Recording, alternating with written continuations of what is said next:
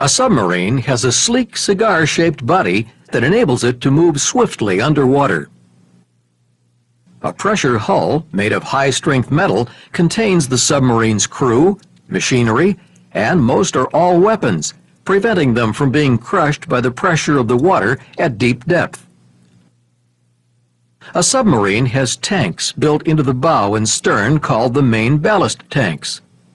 The sections of the bow and stern containing the tanks are not usually surrounded by a pressure hull. In order for the submarine to dive, the main ballast tanks are flooded with seawater. The added weight causes the ship to lose its ability to stay on the surface of the water and it submerges.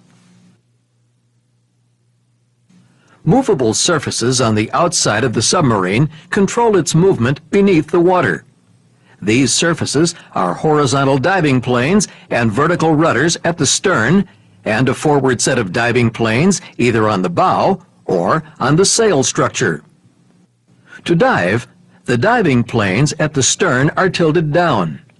As the submarine is propelled forward, the flow of water over the tilted planes causes the submarine to glide downward. The rudders steer the ship. Crewmen can turn a rudder to the left or right to make the submarine change course.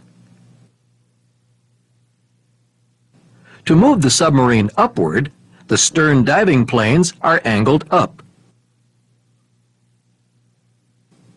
The diving planes at the bow or sail are used to help keep the submarine at a precise depth while near the surface, especially when launching missiles or when raising an antenna or periscope above the surface.